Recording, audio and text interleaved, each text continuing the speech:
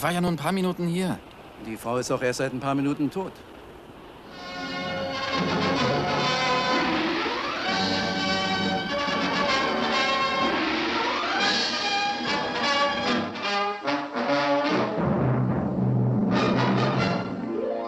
Wussten Sie, dass die Tote Sie in Ihrem Testament mit 1200 Pfund bedacht hat? Der Häftling ist entflohen. Der Häftling ist entflohen. Ich bitte um? Entschuldigung. Ach, das ist ja unglaublich. Wie können Sie noch Witze machen in Ihrer Lage? Wissen Sie, was Ihnen blüht, wenn Sie erwischt werden? Überhaupt nichts mehr, es sei denn, am Galgen blühen Blumen. Ich kann das nicht komisch finden. Ich auch nicht. Aber ich kann immer noch lachen, weil ich unschuldig bin. Und wenn mich der Köter Für beißt? Verwundung im Dienst kann man einen Streifen bekommen. Was hilft mir ein Streifen, wenn ich keinen Arm mehr habe, an dem ich ihn tragen Ach, kann? red doch nicht so viel. Halt ihn fest. Schön brav sein. Du bestehst also darauf, einen mordverdächtigen Mann zu decken. Er ist kein Mörder.